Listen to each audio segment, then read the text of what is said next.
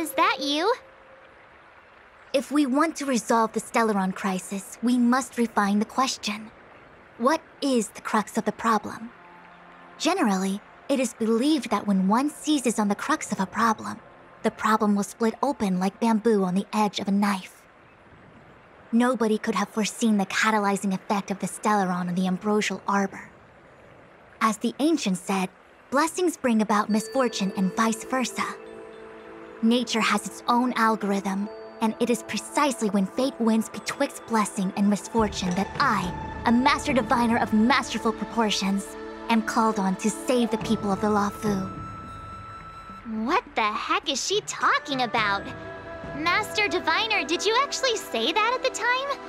I can't remember. It would appear that in Miss March's estimation, I'm somewhat of a blabbermouth. no, uh, I've always seen you as a, a masterful Master Diviner. Despite the obvious distortions in this experience, the base materials from which it is composed are taken from your actual memory. There is no falsehood here. In other words, your subconscious mind thinks that I talk in tongue twisters.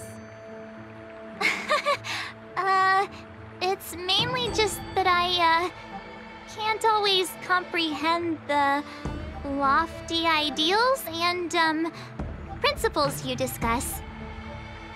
Forget it. Now is not the time for losing one's temper. If the inferred experience is distorted, we should focus on filtering out each distortion one by one. Otherwise, we won't be able to trace your memories back any further. Um, this is getting a little complicated. Is there a simpler explanation? Draw your bow and fire an arrow at that Fu Xuan.